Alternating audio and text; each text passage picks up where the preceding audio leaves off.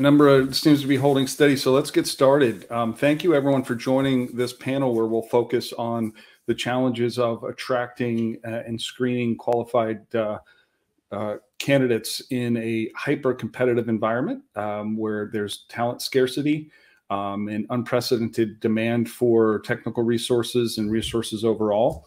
Um, I'm Ben Walker from Glider. Um, Glider is a candidate screening automation solution that includes bulk um, online and mobile candidate screening, as well as skills assessments and one way and two way interviews.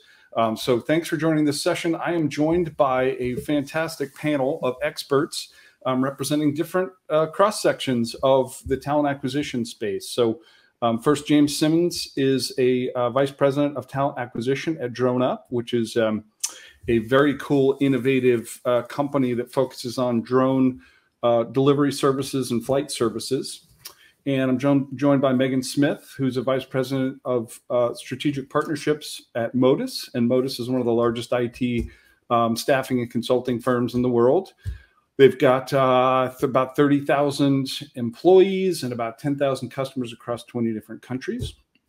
And I'm joined by Marin Henderson um, from Pontoon Solutions. So Marin Henderson is a, a program director um, in the MSP solution for Pontoon. And Pontoon is a leading provider of MSP um, recruitment experience outsourcing, total talent, and services procurement solutions. So, looking forward to a great session. Thanks for joining. Um, just a little housekeeping. You can send in, uh, if, if, this is your first session you've attended, you can send in questions. I'll um, do my best to pivot between the panelists' questions and questions coming in from the audience. And uh, certainly at the end, we should have plenty of time so that I can start fielding some of those questions if I have missed them. So, please use that uh, Q&A functionality. And so first, um, I just want to uh, kind of sort of tee up the topic here of uh, what we're what we're covering. So for context, um, anyone that's in this space today knows that we are in really unprecedented times. Um, a lot of dynamics at play here, where um, between uh, just incredible rise in digital transformation initiatives, um, coupled with a lot of job hopping that sort of started with COVID, may be here to stay for a while, baby boomer retirements. There's all these dynamics at play um, causing um, significant talent scarcity. And so the qualified candidates often already have a, a, job. And, and how do you attract those folks? And then the other dynamic that we'll talk about is how do you guard against um, having folks who really aren't qualified or only marginally qualified come in. They might look good on paper, they might have great credentials, a great CV, but then you discover that they really don't have the skills um, that they that they need. So um, some of the data bears this out. And Again, I think uh, folks who are on this are probably living it out uh, every day. But just for a little bit more detail and context. Um, the the JOLTS report, uh, which is the Bureau of Labor Statistics uh, report that comes out every month, um, this summer, at some point, hit an all-time high of job openings. I think it was around 11 million, and then um, it, it, came down a little bit. But I think we're still north of 10 million job openings. And within the tech sector, the job openings year over year doubled um, with, for, for for technology positions. And so, a couple other anecdotes that we're hearing about. Um, I was talking to one of our customers who mentioned that year over year, their requisition volume tripled. And then recently, I was talking to a customer uh, at the beginning of this new year, and she said, you know, normally the first week in January, people are sort of getting their footing under them, catching up from the holiday, and it's a pretty quiet week. Um, they got a thousand requisitions um, within that first week, and so um, we're seeing this in our data as well. So from 2021 to uh, sorry 20 to 2021 um, we saw um, uh, actually sorry 21 to 22 so first week in january of 22 we saw a 10x increase in the number of people who are inviting candidates to take assessments skills tests in our platform. So um, that is the challenge um, that that everyone who's in this space is experiencing right now. And essentially you know we hear um, variations of the same theme from across uh, all of our customers and prospective customers. We have to find and, and screen more candidates faster while being mindful of the candidate experience and, and without compromising candidate quality. So there's this uh, this bifurcation or this juxtaposition between got to do it fast with an unprecedented amount of volume without compromising the quality or the rigor of that screening process. So um, I want to kick it off uh, for the panel. We've got five topics, um, and we'll cover a few questions per topic. But Megan, um, I, I, assume some of this resonates with you, and, and you and Modis are seeing this. Um, uh, any anecdotes or specific examples, and then specifically, how are you um, making sure that that top of your candidate funnel is big enough to, to get enough qualified candidates through the bottom of the funnel? Sure. Thanks. Thanks for the question, Ben. You're absolutely right. Uh, the talent shortage is there, and we have seen a demand uh, greater than I've ever seen in my career. To be quite honest, Modis has seen substantial year-over-year growth in job orders. In regards to just widening the funnel, we're looking at more than just the must-haves on candidate resumes, and when we're talking to candidates, so it's more around culture fit. Um, what might be some of the soft skills that clients are looking for adaptability problem solving collaboration dependability we're also looking at previous applicants that maybe we haven't talked to in some time and um, weighing heavily on candidate referrals. And then another cool thing that Modis has going on is Modis Academy. So we um, like to look for candidates that are maybe an 80% fit to a client. And then we're using Modis Academy to upskill those candidates for the client.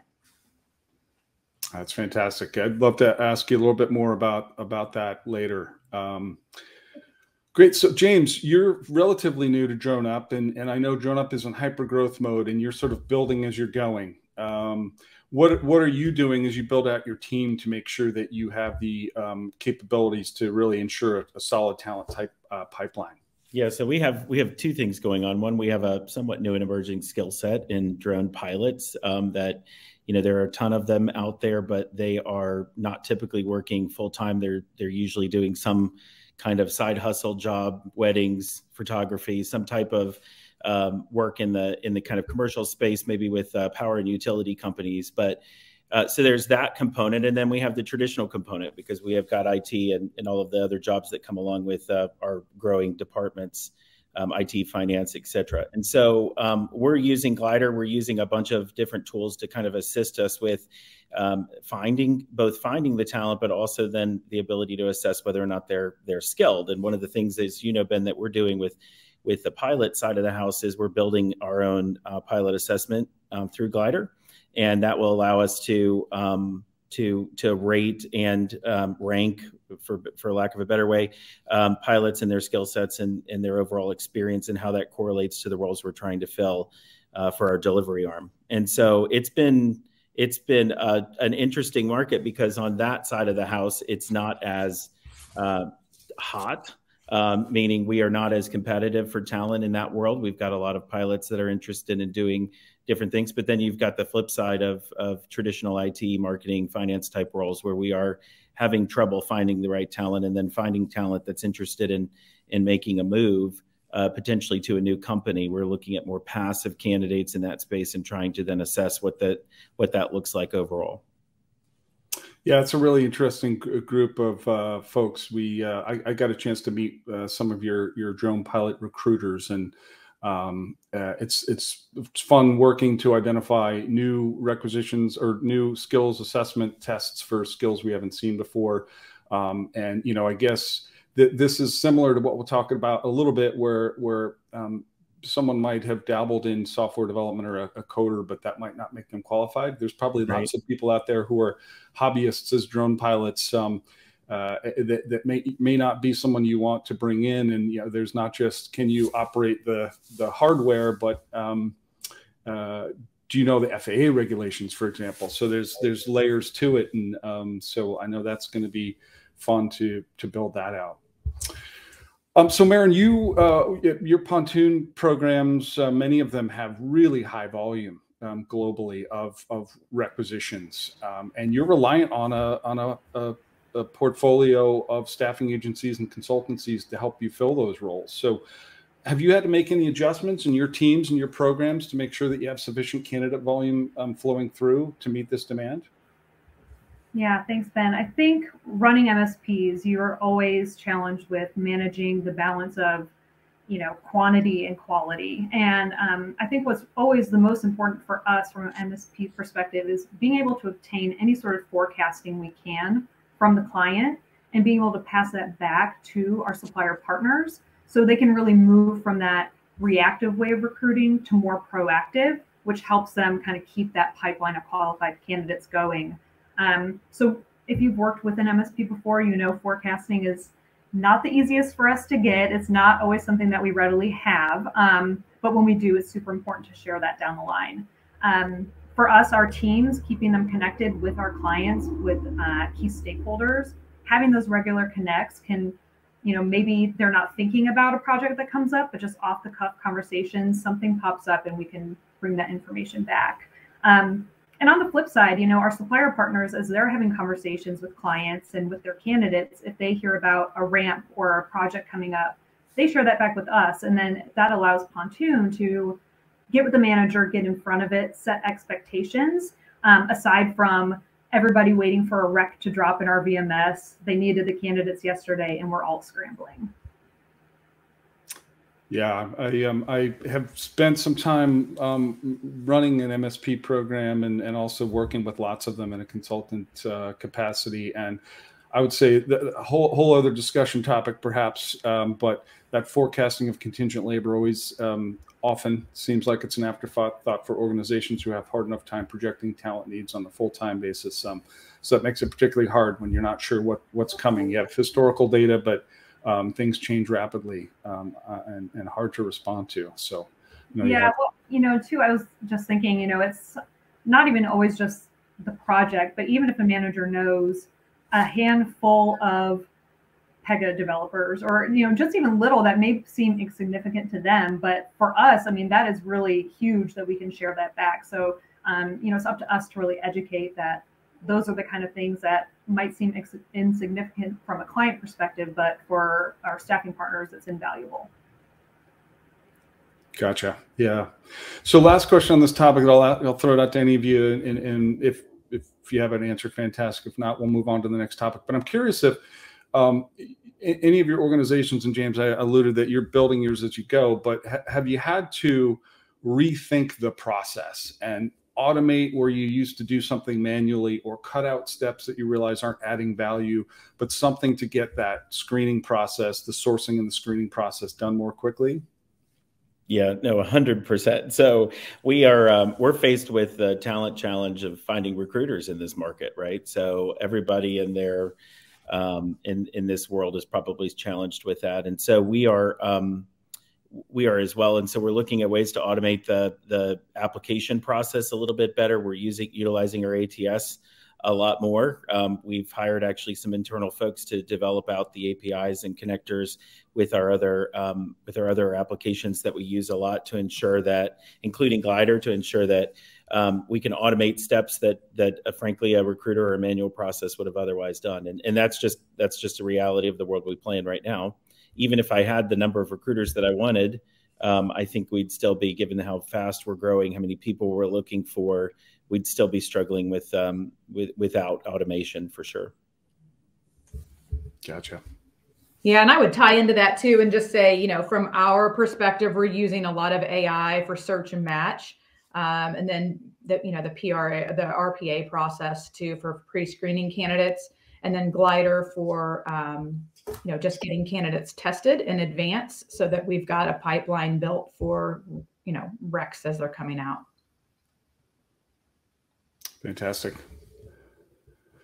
So, um, skip to a, a, a, subtopic here, and that is with this challenge of finding the right talent, um, where often folks who are qualified and proficient are already on an assignment or have a job. Um, and with this unprecedented demand for for technical resources, we're seeing um, this cohort, and this is bearing itself out in the Glider data of of folks who are sort of not qualified, frankly, to uh, to be in the space. So the good news is there's lots of options now mm-hmm. for people to upskill, particularly in technical skills. They can take online courses, and that's fantastic.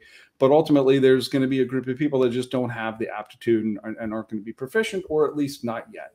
Um, so in, in, the Glider uh, platform, we have assessment functionality that includes the ability to to monitor, automate, automate sort of the proctoring functionality. If you think of someone um, taking a test in a testing center or a classroom, and there's someone there sort of making sure everyone's doing what they're supposed to do, um, in this distributed remote workforce that we're in today. Um, our proctoring functionality um, automates that. Um, but with that, we can see that we uh, we saw a 92% year-over-year increase in our um, monitoring triggers. Um, so indications that someone's cheating. So that could be someone sitting next to them and you hear that voice in the room and someone's asking someone to answer the question for them use of their phone opening up a browser tab to search for an answer um, and so uh, I've, I've been with Glider for almost six months now. I was in the contingent workforce base for, for over 20 years, but uh, for, new to the skills assessment. And I was astounded at some of the stories that I heard. It seems like every every call that I was on um, for my first couple of weeks and talking to companies, I was hearing a new story of of wow, you wouldn't believe this one. We have a challenge here with with testing integrity and and um, people not getting help on this test. One of my favorites was um, I think it was an interview, and this was a company that wasn't using Glider yet, and they were talking to us about our, our solution. But um, there was an interview where they're doing a two, live two way interview, and the candidate apparently had someone either in the room or on a remote computer with the speakers on, who um, you know the the interviewer would ask the question. Somebody else was answering the question, but the candidate was lip syncing, and um, I've heard this more times than you will probably imagine. Um, but the the particularly funny or sad, depending on your perspective. One that that uh, I recall uh, is that the candidate forgot that they were supposed to be lip syncing. So they're in the middle of this interview and there's somebody else giving the answers and they just sort of zoned out and they're just staring at, at the camera. Um, so we see lots of this um, and it's a challenge. And so um, uh, uh, you know, I, am I'm, I'm curious. I'll pose this question out to all of you. Is it does this resonate with you? And do you have any good, bad, or ugly um, uh, examples of your own? I'll jump in again. and being in this industry for 20 years, uh, I tell people all the time, I think I'm going to write a book when I retire. There's too many great stories. So we've got two stories that I kind of pitched this out. Um, specifically with Glider, which, as you know, and those of you that use Glider, um, it is a proxy. And, and as you log in to take the test, it asks you to use the camera. It also asks you to use um, the mic so that it can track. We had a candidate that actually stood up in the middle of the training or after the, the skills assessment for about 15 minutes and had a new person come in and sit down.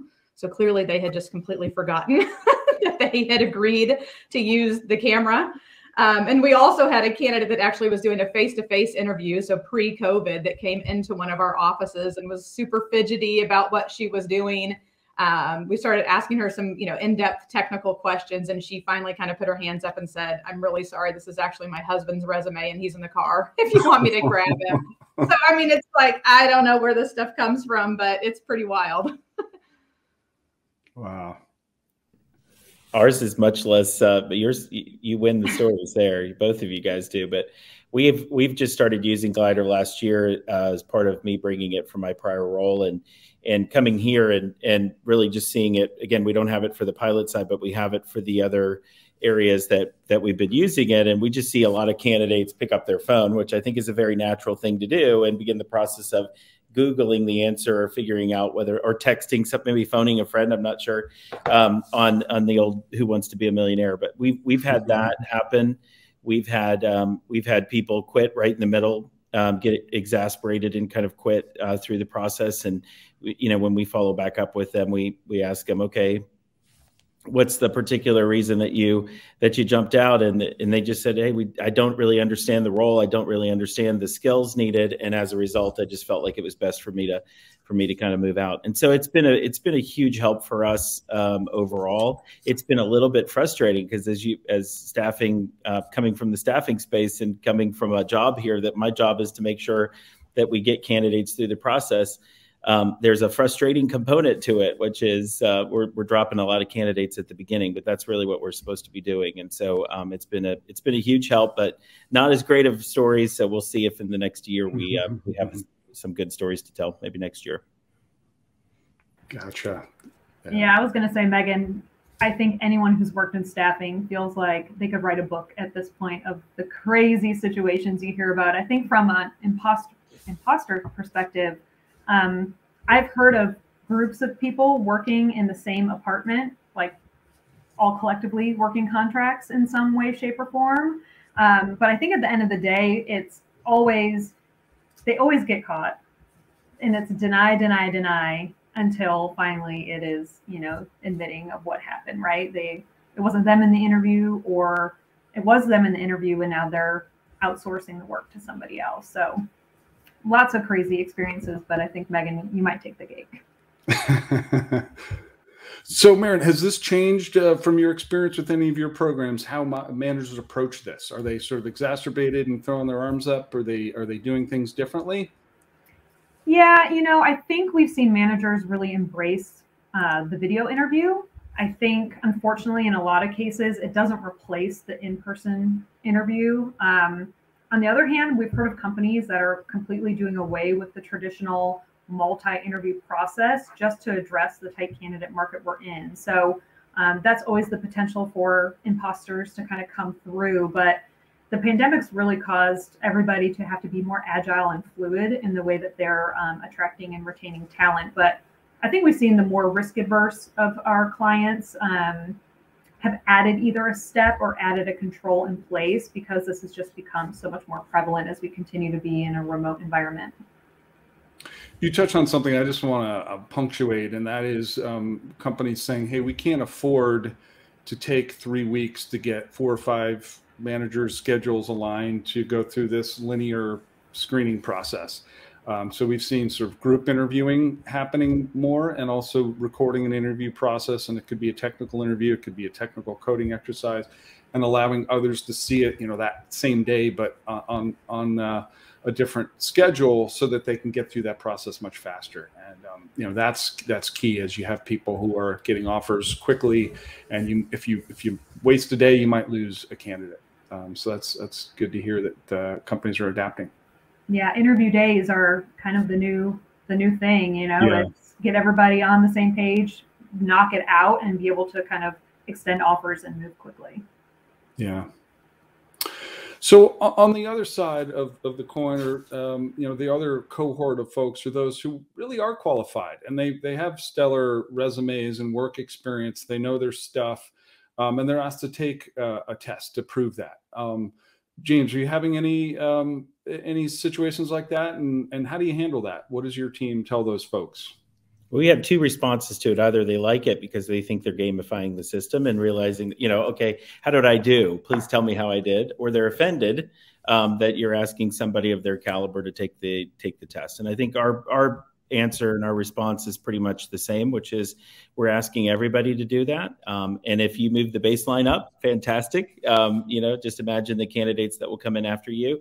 Um, but at this point, we're looking for everybody to have an assessment and have that on file so that we can at least um, utilize that in the interview process. We're not, again, we're not utilizing it for purposes of creating a gate at this point or any kind of um, any kind of barrier to entry. What we're really trying to do is understand where they sit in the spectrum of other candidates that have come before them, as well as obviously folks that we've put um, out to work here in corporate or in the field. And so um, it, it is helpful. And I think what we've found with some of our quote unquote senior candidates is they don't score as well as some of the mid level candidates because they're not as involved in that um, on a day to day basis in that role, in that skill, whatever, working with that skill, et cetera um, on a day to day basis as their uh, folks that are working for them. And so I think it's been interesting for them mm-hmm. too um, to see an opportunity to at least expand their um, you know expand their overall skills and maybe get back into some of that. That's really interesting. That's an interesting dynamic I hadn't thought about. That um, the more senior people may have have moved into a tech lead role and not have been hands on, and if they're being considered for more of a hands on role or a tech lead role where they still have to know backwards and forwards what their what their team's doing in coding that they um, they would score less well than than those that have been more directly involved. Interesting. Yeah, it's been interesting. It's been fun though, and I think we see a lot of can depending on the personality, of course, uh, but we see a lot of people that are interested in at least doing it for for purposes of their own self assessment. Yeah, yeah, fantastic. So, um, Megan or Marin, is there anything that you've seen has worked well in these circumstances? Um, you know, Marin, it may be something you've heard that agencies supporting a program have done, or Megan, something that you, that you your teams are doing to encourage those who are reluctant to um, to just complete the test. Yeah, I mean, I think it's all about how you approach it with the candidate, right? And I think what we find to be successful across our programs that implemented something like Glider is it's part of the process. To James's point, it's it's not the first step to get you to submitted, right? If, if you're thinking you have to do this in order to get submitted, it, there's so many other opportunities out there. Why would you take an assessment when you can just put your resume out there? So really um, explaining the value and that there might be some extra time on the front end having to take the assessment and go through that. The rest of that process should be, you know, speeding up essentially, right? The manager knows you have technical capabilities to meet it. In a lot of cases, it could just be a quick culture call to make sure you're fit for the team and you're getting that offer. So, um, you know, the staffing partners really have to show that value, right? This is just part of the process. It's the first step. Um, and that's how they can combat some of that. Gotcha.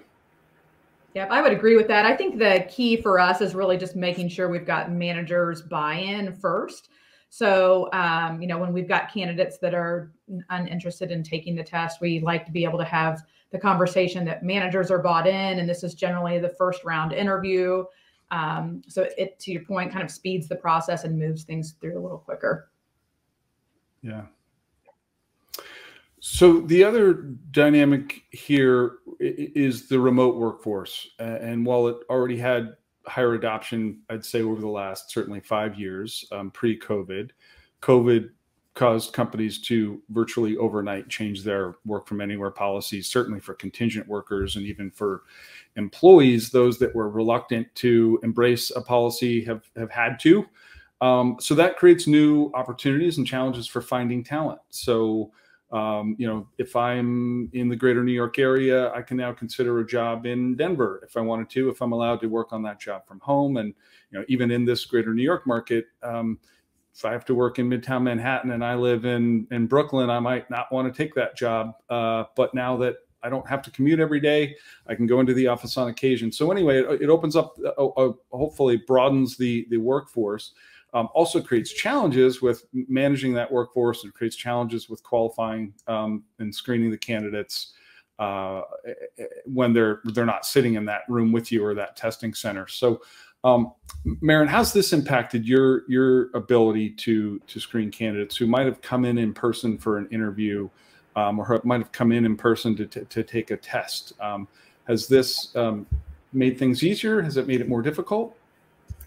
Yeah, it's definitely made it interesting, I will say. Um, so I think, you know, we really rely, I, have probably alluded to this several times, but from an MSP perspective, we really rely on our supplier partners to make sure that those candidates are being screened by the time they get to us, right? That they can do that role in some way. So whether that's using a technology like Glider, um, doing a traditional in-house, I don't know if those even exist anymore. Um, but you know that they're doing some kind of screening on their end that by the time we get it we know that they can effectively do the job but i think especially with covid and what we're seeing um, you know i have found such value being a part of a company like the adecco group and having these family of brands like Modis and where megan's team and my team you know we can pull up and say what are the challenges that our clients are facing and by putting our heads together we can allow this kind of bigger thinking approach and we can go to our clients and say, here's some innovations that can maybe address this remote environment, whether it's a technology like Glider or it's um, analytics or something to that effect. Um, and that kind of helps us take them in this, you know, race to fill seats that everybody's in. It's such a tight market, and it moves more to the strategic, getting the right work done, and helping them through this. So, you know, we've had to really be agile and change how we do things, and a lot of that is you know, collaborating internally to make sure that we're taking all the expert advice from our brands and bringing that to the forefront to our clients to make sure that we're adapting with them. Yeah, gotcha. And Megan, has this made your team's jobs easier or, or harder or both? and have you seen? I'm you curious. If, I was just going to add if, you if you've seen any customers uh, reverting back, and maybe with Omicron they reverted back again. It's a very uh, dynamic environment. But I'm curious if also companies start to say, no, now we want people to come come in person, and if that's created challenges as well. Yeah, so I think you know overall the ability to source candidates really this has made it easier, right? The ability to work anywhere. However, I think it's very industry and client specific. Um, from my vantage point, it seems like most of our engineering and med device clients really are still working on site, have have worked on site through this. So that has been a bit of a challenge finding candidates or you know having to um, go through you know time off that kind of thing. Uh, finance and insurance vertical really seems to be, you know, they're willing to have candidates work offsite, but they want people in market so that when they do go back to offices, they can be face to face again. Mm. And then it seems like most of our high tech clients really have remained open to, you know, work anywhere environment. So it really is dependent on client and industry, I think. Yeah. Uh, I remember uh, maybe six months into uh, the pandemic hearing companies and really big companies say we've permanently switched to remote workforce. And I've worked long enough, um, 30 years into my career, that nothing is permanent in corporate America. And that policy might change a year from now, but um, it'll be really interesting to see where things lie. I, I was on a panel earlier, or uh, listening to a panel rather, yesterday, and, and the question was posed um, is this new dynamic here to stay, regardless of what the outcome uh, of COVID is in terms of how quickly that's not an issue anymore? And everyone universally said, regardless of COVID dynamics, um, it's here to stay. So I think it's uh, it's great that you're finding ways to um, make the most of that situation and leverage the benefits. Um, and so in screening candidates, you know, recruiters are often the first line of defense, right? So they get on that initial call and you gauge interest and fit and those sorts of things, but then they uh, in some cases have to be that front line of asking question around well talk to me about how you've used you know javascript and and, and this scenario and and um, while they're probably very good at understanding the differences between technologies they're probably um, because they've not been as hands-on they're not able to ask that follow-up question or that second question or probe or maybe the the question isn't um, as uh, robust or detailed as it as it should be. Um, james uh, what are you hearing from your recruiters in terms of their their challenges and sort of weeding through what's real on a resume and what might not, might not be? And how do i feel comfortable moving this person on to the next stage with, with you know my screening um, uh, capabilities? Yeah well i've always said and i think i shared this with you and it, it's not obviously rocket science what we do but but um, but I always felt like recruiters needed to be an inch inch deep and a mile wide, right? In terms of overall expertise and understanding of what um, clients were looking for and or their internal or external client was looking for. So I'm not expecting my recruiters to walk in the door, even if they've got 10, 15, 20 years of experience in the space and be able to give a, a complete Java exam and, and come out of that knowing um, uh, that this candidate is the best match for the role. In addition to that, how we use those technologies individually in groups, how hiring managers use those externally with clients can be different.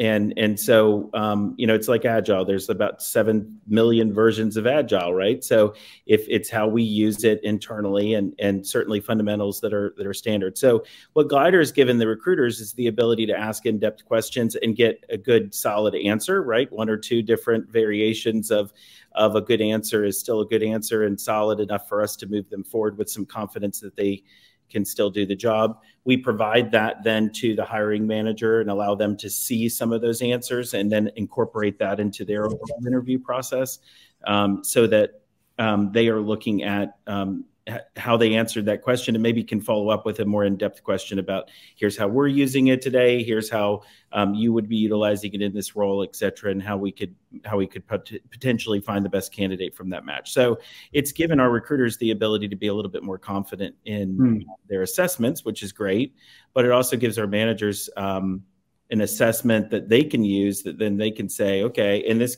this is true externally or internally but an assessment they can use to say this is how we're using it today. You're using it in a different way. And maybe that's a beneficial thing and it creates a different kind of conversation during the interview process. Mm, yeah. Fantastic. So megan how are the recruiters at modis doing? Are they uh, hanging in there with this It's tough. It's tough. But honestly, you know, our recruiters are amazing. Um, they have been so resilient through this pandemic. And Modis really has put a concerted effort and focus on personal and professional wellness during this time. So although the workload has, you know, absolutely increased, um, and we've been hiring recruiters to keep up with that demand, the team really has embraced the spike in volume and we're just tackling it day by day. yeah. Good. Um, so, so Maran, I'll, the ideal scenario is you, you screen, you screen well, uh, the candidate gets on the job and they crush it. They just are fantastic. You want to keep them as long as possible. Um, the opposite side of that question is they've slipped through a crack or two and and they did great in that screening process but really don't have the skills and they're not going to be successful in that role and they're not. And you know you have unwanted turnover because you just say look we need somebody that can do these things faster more efficiently more productively whatever it may be with higher quality.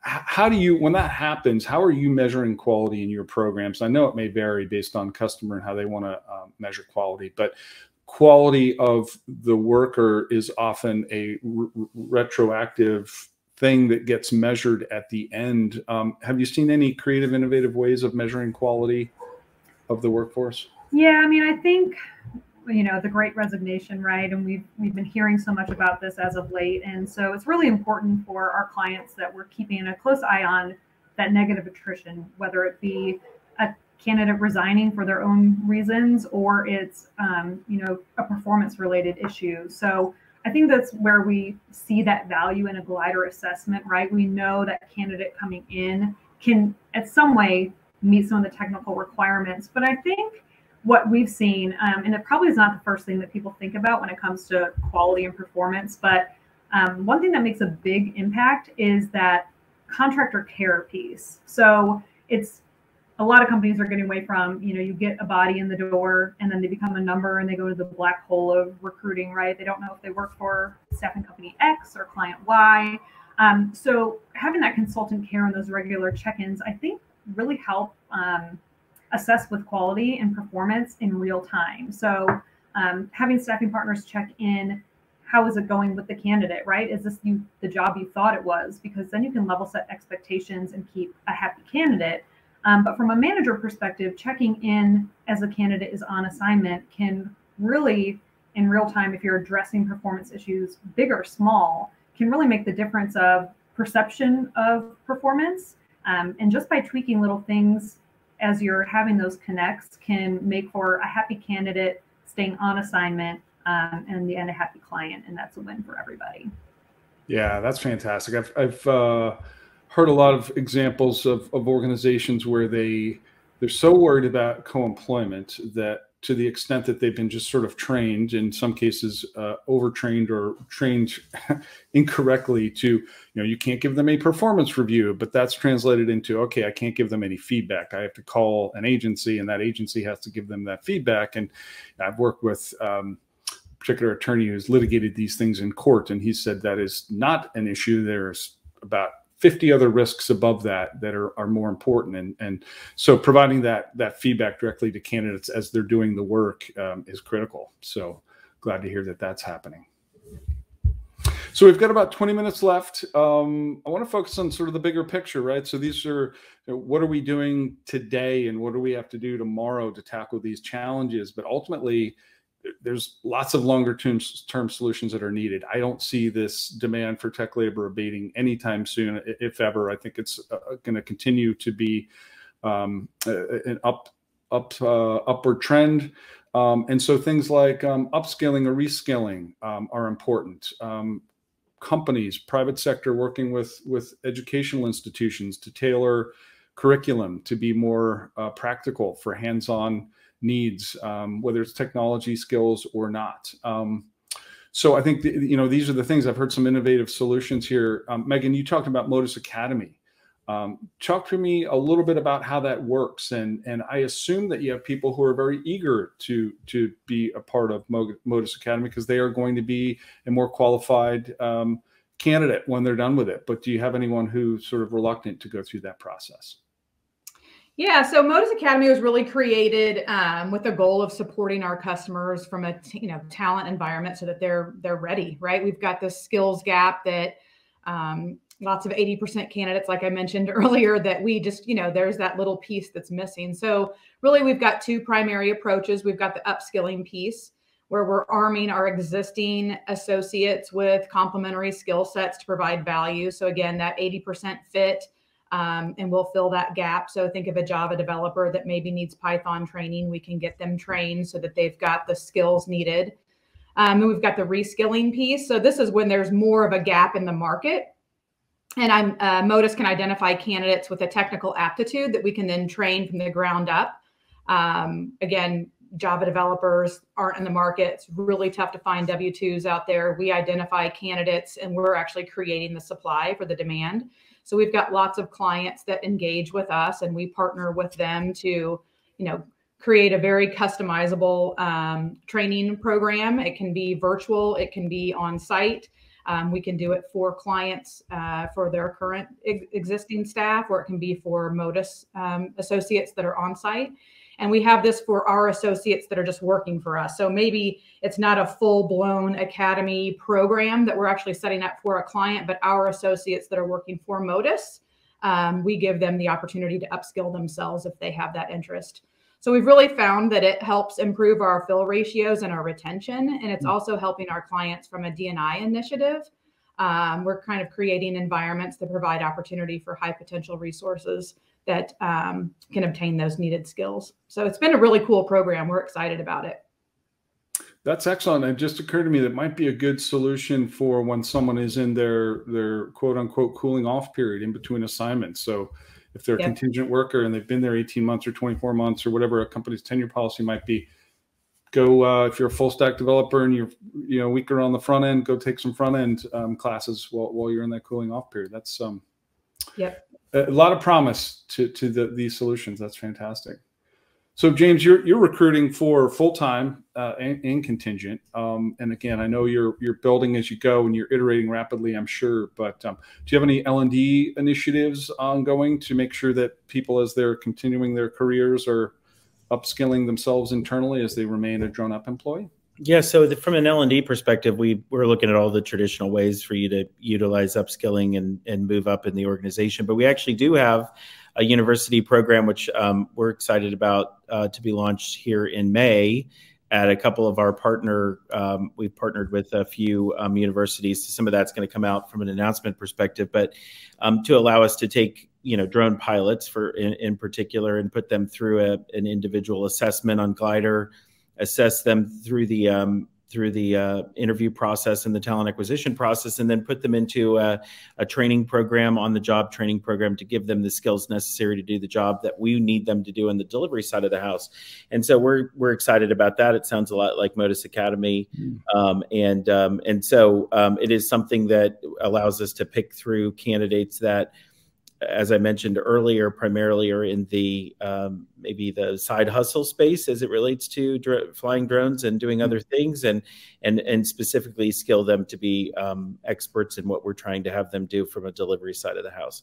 So we're doing a little bit of both. From an internal perspective, in traditional roles, we're looking at upskill and the capabilities that you have there within a startup environment that's growing quickly like we are you obviously have a lot of opportunity to prove yourself out and and and move up as you as you prove that you can either gain the capabilities necessary or have the skills and just maybe haven't used them in a in a uh, current environment. That's a little less applicable outside um, in an external staffing environment obviously but it works really nicely here um, from a from a startup perspective. And then we've got the l&d group working on the university model which is which is also very cool. Fantastic. I look forward to hearing more about that. Yeah um, so one of the other dynamics is, is looking for a population of workers that really maybe weren't paid enough attention to, frankly, and and a huge one is is military veterans. Um, and I know there's a lot of upskilling, reskilling training programs for military veterans. Um, I heard from a customer week or two ago that um, there is a, a, an initiative. I think it's Department of Veterans Affairs has a tech training program, but that unfortunately, a lot of organizations, both federal government agencies and commercial agencies, have education requirements. And so they get through this program, they're excited, they're skilled, and, and then someone dings them for not having a college education. So I hope that people rethink those policies as well, um, where it's appropriate. And if you can prove that you can do the job and have the skills you need, that you don't also to have have to have um, you know a degree um, and that's so core to what gliders values are that we want competency not credentials to be the the the, the reason why you are successful in your career um, i think we have time for one more question um, Maran, you you get exposed to a lot of different companies. Um, are, are, you seeing that anyone's relaxing their education requirements um, for for resources where they're saying, you know, this is now a nice to have an undergraduate degree or a degree in a particular tech, technical acumen is is nice to have as long as they can prove that they can they can do the job and they have the skills. Yeah, I definitely have seen it relax over the last few years. Um, I think when it comes into play is that conversion, right? If there's a company that does a lot of conversions, you have to align some of the specific skills, user experience, and in that case, maybe a degree um, if they're convert to a full-time employee. So there's some of those challenges still, but I think from a straight, this is true contract work, it's going to go X amount of time. Um, we have seen that relax a little bit, and uh, to your point, I think that's great because I just think it used to be, you know, the bachelor's was kind of the baseline, and then the master's was kind of the next thing. And I just really don't see that happening as much anymore. And um, Maran uh, or, or, James, any any experience that, that you've had, or uh, you know, James, I don't know if this is uh, applicable in, in when you're going out to candidates for the roles and education requirements being nice to have or must have. Yeah, it depends on the role still, right? And depends on sure. the hiring manager, but you know, we are forcing people to look more at skills and look more at background and um, and competency as opposed to those credentials. Um, you know, as I mentioned before, um, um we we kind of look holistically at candidates, which is which is exciting. We don't get that. We didn't get that in my in our old role where I'm more focused on filling job needs for large uh, Fortune 1000 clients. You kind of have to go with what their what their hiring managers are looking for. Here we can challenge. Yeah. Hiring manager assumptions, um, you know, uh, everything from price equals experience, right, which we've all um, had for years and years and years, to skills and background, over credentials, and um, and so we definitely see it. We also, from a military perspective, we're a huge military employer and continue to um, look through how we can bring more and more of those individuals into this environment. We're obviously here in Virginia Beach um, today, but um, uh, we're going to be uh, around the country very shortly with with some offices opening. But right now in the Virginia Beach area, we have a lot of folks that are leaving military and coming in, and we see that as a tremendously valuable um, background and applicable to a lot of different roles and specifically in our delivery um, side of the house because there's a lot of training there that comes along with that. So I, yeah i mean i i think overall i'm seeing it less of a focus. Um, i've got a daughter in college so who I'm paying a lot of money to go to college. So I hope it matters at some point for her. But but um, but anyway, overall, um, I always tell her, you know, it's going to be about how you do on the first interview and how you, you know, from a personality perspective, how you're relating to the team, how much of a cultural fit you're going to be, and then how adept you are going to be at learning um, the environment and being somewhat um, uh, somewhat beneficial to the overall team. That's going to matter at, at the end of the day and they're not going to remember a year in that you have a degree from a great college. It's just going to be about what you've done for them in the last year from company perspective and help.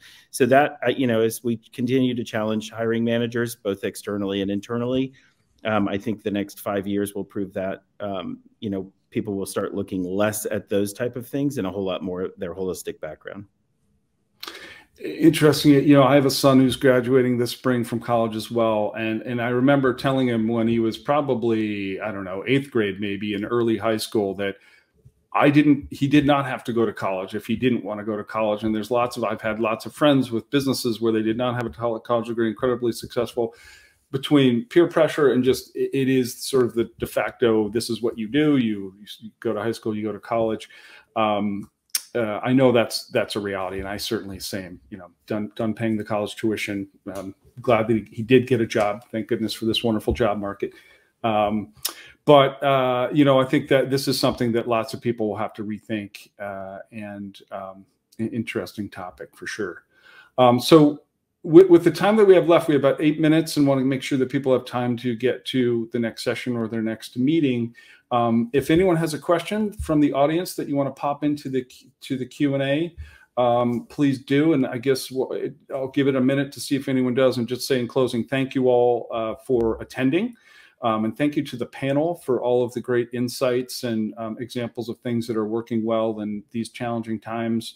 Um, so appreciate all of your time and focus. And I'll just stay on for a minute um, just to see if there's any questions that come in. And uh, otherwise, we'll just get we'll give it a minute uh, or 30 seconds maybe, and um, and we'll we'll wrap up. Anything else the panel wants to add? I guess I'll say that as a filler while we're waiting to see if any questions come in. No pressure, but uh, if anybody has any other thoughts, jump on in.